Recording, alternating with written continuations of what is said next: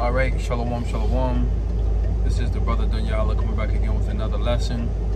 Giving all praises, honor, and glory to Yahweh by Hashem Yahweh Shai, by Hashem Dash. Double honor to the elders and apostles, a great millstone. And shalom to the hopeful elect brothers and sisters that believe in this word and that fear in the Heavenly Father and His Son.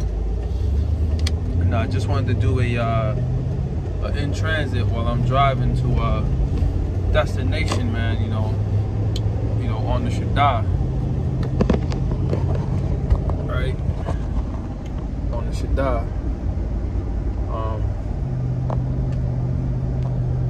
you know, basically, uh, hey man, we're at what was the fourth day into the so-called New Year, and you know, got lots of different things already going on. Um, hey, this has been coined the, the year of uh, the hopeful year of um, Salakia, the hopeful year of uh, Jacob's trouble, right? You know, so hopefully this year we can see Jacob's trouble start to uh, manifest, right? And we see how we know and see how all these different things are going to come to pass. All right, we know from the scripture what the what the uh, main outcome is going to be, what's going to be going on, but then how it's going to be done. The Lord has also revealed it unto us, unto us also what the different plans of these elites are to bring these prophecies to fruition, to fruition, Salakia, right? Because ultimately, if this devil, uh, uh, you know, uses his resources to call a famine, cause a famine, it's really uh, the Most High. All right, the Most High put the Spirit on him to do so. Okay, and all these different things is about to come to pass. Now, um, us brothers, we did a uh, a live stream. Um, what was it? Uh, and Salaki, if this comes out and my, my camera's all over the place, man, uh, it's more important that you hear me. You know, as, as you know, not so much as seeing me, but it's more important that you hear me, right? Um, but Lord, um, yeah, we did a uh, live stream last night uh, entitled "Woe is Me, Woe is Me, Who shall deliver me in that day?"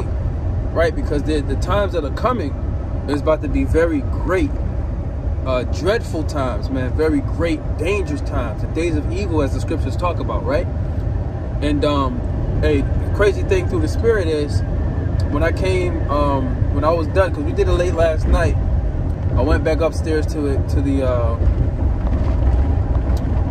I actually I actually fell asleep on the couch and then I went upstairs to my room and my my uh, my wife looks over at me and, and shows me her phone and on her phone is second uh, second Esdras Esdras the um, 16th chapter and the 19th verse where it says uh, scourges of you know famine and, and, and things of that nature right and, and, and death and you know or sent for scourges or, or scourges sent for amendment. So, you know, those are scourges that the Lord put on you that you might learn a lesson, but our people won't learn their lesson, right? Now, the crazy thing is, she asked me, did I use her phone? And I didn't use her phone. She said, I didn't look this up, and this wasn't on my phone, on my browser before, so how did it get there, right? You know, I said, hey, that's the spirit of the Lord. Because, hey, the Lord is about to send out a lot of scourges, man. People are already getting scourged, but a lot of scourges, a lot of examples. People who's been just playing around with the Lord. Hey, man, the Lord is about to make examples out of people. Like Elder Apostle Gabar, uh, you know, did that video saying, you know, stop, stop playing around with the Heavenly Father, man. Stop playing around with the Most High, right? Because, hey, oh man, the um the report that those brothers did with uh, the the brother, um, you know, the Jake that was in the camp, right? He was, you know, he was just being he was being reckless, and he was not listening to counsel, and he was joking. He was he was laughing and joking about um, the judgment of the Most High. So right after camp, right, you know, and he played it off like he was he was gonna take heed to what the brothers were saying. You know, you, you can watch that video but right after um right after camp, right? He goes and you know situation happen. He, he gets drunk or whatever, and he gets hit by multiple cars on the on the free on the highway, man, or, or you know on the street. So he got a really harsh, oh, ju- that that had to be painful, a harsh judgment from the Lord because he refused to listen. And I think um I think they said something happened where uh um you know he had to he had to get off the I don't I don't know I think he was riding a bus or whatever you can correct me if I'm wrong right? But he didn't want to hear the reproof of those brothers man that was telling him hey man you got to stop. And of course out of love but he didn't want to hear the reproof or the correction from those brothers. So the Lord gave him uh, a very hard correction a very hard reproof a very hard rebuke in that manner because re re remember now, um, Isaiah 66, it says what? The Lord shall come with fire and his chariots as a whirlwind.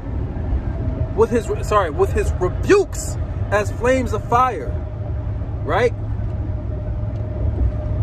So, hey, if you don't want to listen to the, the verbal rebuke to get your stuff together, right? The Lord can make you feel it, man. Like uh, Elder Apostle um, Gabar always says, uh, where where um, where words don't uh, where words don't teach, adversity will. You know, uh, you know my uh, my folks being from the islands. You know, my mom would say, uh, "Who don't hear does feel." Like if you don't want to hear, then you're gonna feel it, right? So for for the for a and that's man that's a cautionary tale. That's a live example. The lord's gonna have more examples like that man. Um and we we gotta pray and, and stay stay obedient unto the spirit man unto the lord. Because you know we don't want that to be us. That that should put fear in your mind right? Um but um right man so for all these all these people out here and i'm now i'm just talking about are people who don't want to take heed of those who know they're Israelites and don't know, that don't want to take heed unto unto uh, sound doctrine or don't want to take heed unto uh, uh, you know the correction that goes out through the Spirit. You know, hey, if you don't want to take heed to the rebuke and the correction that the Lord has coming down verbally with words, right? We try, hey, we try to persuade you it's, it's really all up to the Lord. But knowing the, the terror of the Lord, we persuade men. But if you don't want to um, take heed unto the words, the Lord is going to have painful, these, these plagues, these um, famine, these infinite ways to be destroyed you know is going to take place and that's going to be your your your your punishment or your lesson, so to speak. That's gonna be your rebuke. Right? Like I said, rebuke with flames of fire. You don't want to hear what the Lord got to say? All right. Well, the Lord's going to correct you himself with fire. That's why we say, hey, you don't want the Lord to come down and tell you. You don't want the Lord to come down and speak to you, man. You don't give up the ghost. Right? Want, want, want the Most High or, or the son to come down from heaven and tell you, oh, you shouldn't be doing that, my son. No, because when the Lord come, the Lord's telling you right now through his prophets. When the Lord comes on the scene, there's not going to be any talking. There's only going to be uh, uh, uh, salvation and judgment. If you're not on the side of salvation, you're going to get the judgment. If you wasn't taking heed to the reproof and the rebuke, you're going to get the judgment. The Lord is, hey, man, accept the correction and the, and the rebuke and the reproof now. Because if the Lord gotta, if the Lord gotta correct you, if the Lord gotta uh, uh, step in physically, which He is correcting you uh, uh, through through words, but if the Lord gotta put His hands on you, whoo, you better hope He has mercy, man. Because just hey, that's another thing too. Just because the Lord has mercy upon you, doesn't mean He ain't gonna hurt you, man. Look at what He did to King David. Yeah, He had mercy upon him but he gave King David hell. You know? even though David was the beloved, right? You know, out, of course, outside of the Lord um, Yahweh Shai, um, which I believe, uh, if I'm if I'm not mistaken, um, when uh, which one of the prophets was it? Um, it might have been Shamuel, uh, Samuel, where uh, you know he was named Solomon, but Sam, uh, either one of the priests, I believe it was Samuel, he gave him another name that he called him by.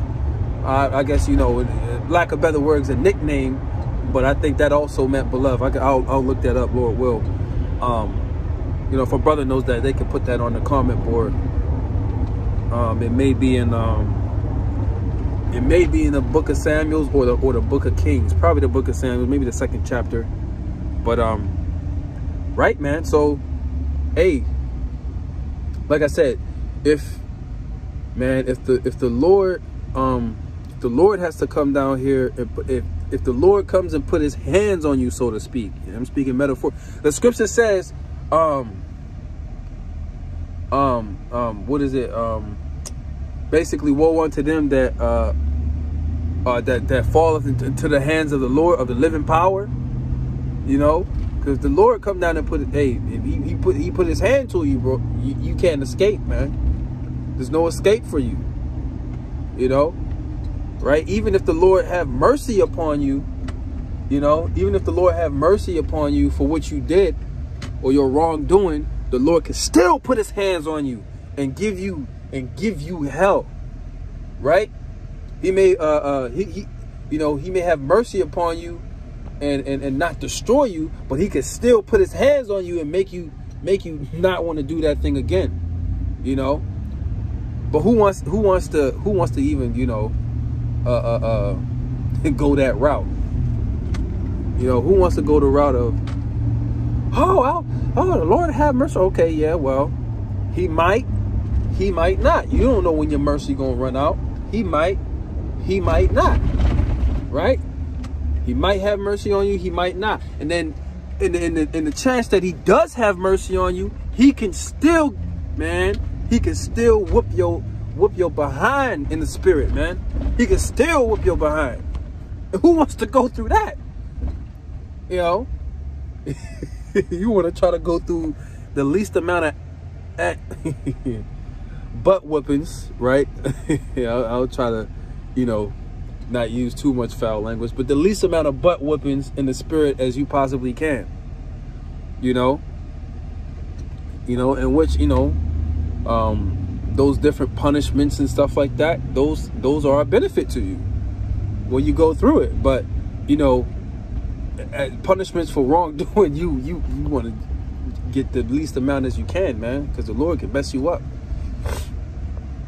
You know, um, right? So, hey, man, with that with that being said, because you know that was on, hey, that was on, like I said, that was on Eve's phone, and we brought that scripture out um right on the um we actually brought that scripture out uh you know right on the live stream you know and then it, it popped up on her phone so let you know that the lord put the put that you know uh, uh on her phone you know you know so hey when hey when the lord does uh scourge you so to speak right? Or, or, or, you know, teaches you a hard lesson, man, you want to remember that lesson, right? And learn from it, you know. But a lot of our, the majority of our people, they're not, they're not. All these scourges that the Lord has put on, all the curses that the Lord has put on our people to destroy them, and they still ain't learned a lesson, man.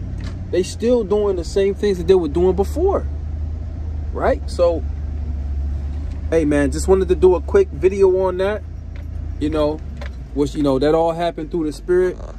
Um you know like i said i told I told my wife she's like i didn't put that on there. You didn't put that on there.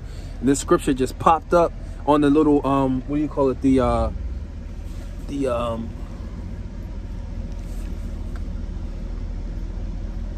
the uh what do you call it the little um the K KJV um, Bible website. right? Literally just the precept, uh, Second Esdras, chapter 16, verse 19, right? So, hey, man, I say, hey, that's the spirit. That's through the spirit, you know, and I'm just going off of that, you know, do this uh, in transit video. So with that, I'm to say, call Allah Yahba Shemiah wa Shabbat Shemikakadash and Shalom to the whole hopeful elect. Shalom.